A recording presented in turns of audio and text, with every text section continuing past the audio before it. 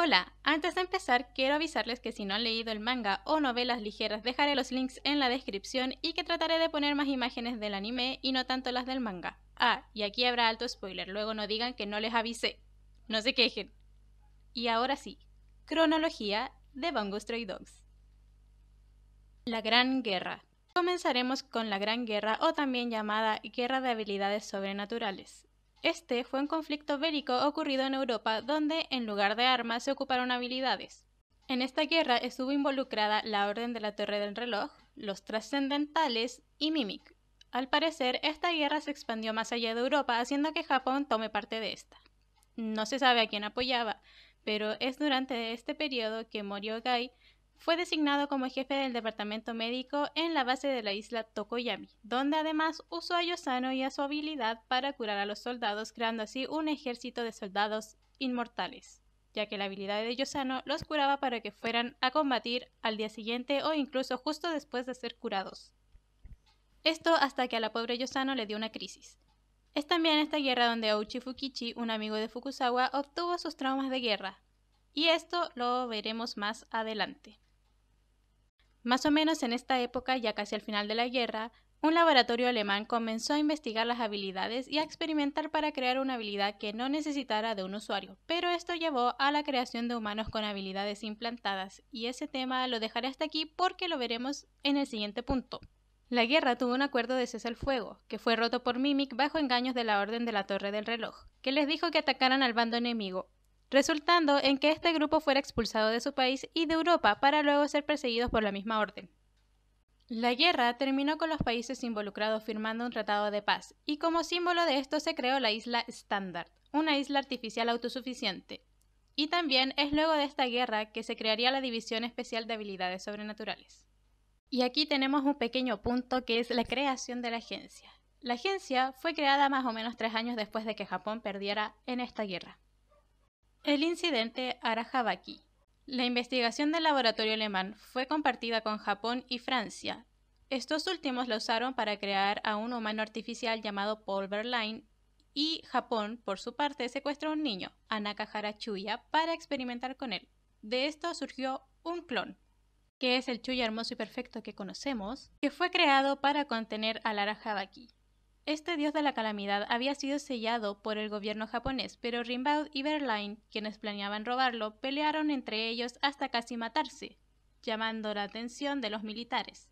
Rimbaud, al verse rodeado, intentó usar al Arahabaki como otra habilidad, quitándole el sello, resultando en la muerte de Paul y en la destrucción del lugar, dejando un cráter donde luego se construiría la ciudad mortero, y esta fue la razón por la que fue sellado, en Chuya.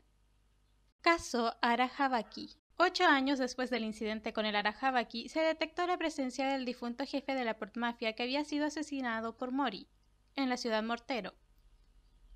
Es en este caso que Chuya conoce a Dasai y suceden los eventos de la novela ligera de 15, que fue animada en los primeros tres capítulos de la temporada 3. Aquí nuevamente aparece Rimbaud, quien además comenta que su compañero lo traicionó. Ese compañero era Paul Verlaine, como se dijo en el punto anterior. Es luego de este caso que Chuya se separa de las ovejas o Chip, quienes lo traicionaron, y se une a la mafia siendo guiado por Koyo y formando parte de las banderas o The Flags dentro de la misma mafia. Stormbringer. Los eventos de esta novela ligera nuevecita de paquete ocurren un año después de que Chuya se uniera a la mafia. Aquí nos comentan que Chuya tiene como objetivo volverse ejecutivo, pero tiene de competencia a Dasai. Además, los miembros de The Flag le hacen una celebración a Chuya por su primer aniversario en la mafia, regalándole información sobre su pasado. Todo bien, todo bonito, hasta que llega un extraño que dice que es de la policía y todos se ponen a atacarlo, pero este individuo resultó ser muy fuerte. La razón es un androide hecho por algún país europeo. La cosa es que este androide estaba ahí para proteger a Chuya del rey de los asesinos, que no es nada más ni nada menos que Paul Verlaine. Chuya no le cree ni mierda porque se supone que Verlaine está más que muerto, hasta que lo secuestra el mismísimo Verlaine, quien además asesinó a los otros cinco integrantes de The Flag. Chuya, tras esto, estalla en ira y desata la corrupción de su poder, siendo detenido por Dasai, quien se lo lleva como si fuera un saco de papas, abandonándolo en el peor lugar posible, a mi parecer.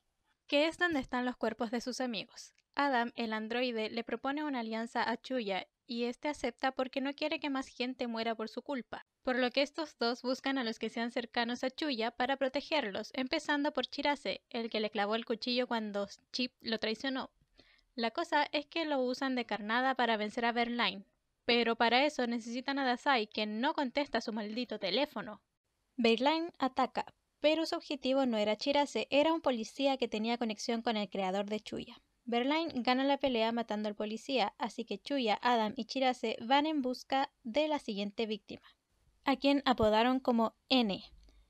Este se les adelanta y los contacta hackeando a Adam y dándoles la dirección de su paradero. N resultó ser el padre de Chuya. Este hombre les contó sobre el plan Arahabaki, que no veremos aquí porque es material de otro video. Resulta que este hombre quería alejar a Berlain del país, llegando a la conclusión de que si Chuya moría, Berlain se iría. Chuya escapa con la ayuda de Berlain e intentan matar a N. Chuya traiciona a Berlain, pelean, llegan Adam y Dasai, quien por fin aparece para ayudar. Berlain se lleva a N y lo abandona en una torre. Luego se va en busca de quien siempre fue su objetivo, Morio Gai, pero cayó en la trampa de Dasai, quien le hizo una emboscada con todos los usuarios de habilidad de la mafia. Berlain, al verse rodeado y en riesgo, desató su propio estado de corrupción. Chuya y Adam fueron y enfrentaron a Berlain en este estado, que creaba agujeros negros. La batalla termina cuando Adam le inyecta veneno a Berlain. Hasta aquí todo bien, hasta que N aparece y dispara una bengala algo rara. Berlain se convierte en un monstruo similar al Arahabaki y mata a cientos de personas. Y se dirige a Yokohama, pero Chuya y Adam lo detienen incendiándolo desde dentro. Pero para eso, Adam se sacrifica. F por Adam. El monstruo vuelve después de un rato porque no se puede eliminar con fuego. Chuya desata su corrupción recitando por primera vez el poemita ese que nos muestran en la serie, se enfrenta con el monstruo ahora llamado Gibre o como sea que se pronuncia. Gana usando cosas científicas que no entendí, pero gana. Finalmente conocen a la creadora de Adam y bueno, este está vivo, por así decirlo, y resulta que Berline tampoco murió, pero quieren hacer creer que sí. Y ahora se encuentra en una guarida subterránea de la Port Mafia. Poco después de los eventos ya mencionados ocurrió el conflicto Cabeza de Dragón. Este transcurrió por 88 días y fue un enfrentamiento entre varias organizaciones clandestinas. Fue además llamado el conflicto más oscuro de Yokohama. Fue ocasionado por la muerte de una persona que dejó una vasta fortuna y, obvio, todos la querían. La película de la serie nos muestra en sus primeros minutos cómo acabó este conflicto, en el cual participó un usuario de habilidad llamado Tatsuhiko Chibusawa, quien fue enviado a resolver el conflicto, pero en vez de eso lo hizo peor. Su objetivo era eliminar a la por mafia. El conflicto terminó con Chuya desatando su corrupción y reafirmando el poder del equipo doble negro y de la mafia. Y hasta aquí la primera parte del video, porque si no se hace muy largo. Así que en esta primera parte analizamos todo hasta poco antes de la era oscura, que la veremos en la siguiente parte. Además de ver los eventos de la primera temporada, el arco de Gil, la película, el arco del canibalismo y lo que sigue en el manga. Así que los dejo advertidos. El próximo video sí que trae spoilers. Y eso es todo. Nos vemos en el siguiente video. No olviden darle like si les gustó, dejar su amor en los comentarios y si quieren ver la segunda parte y recibir notificaciones, denle a suscribirse y activen la campanita. Aquí les dejo videos recomendados y ya, me marcho a estudiar que tengo prueba de la U. Chao, chao.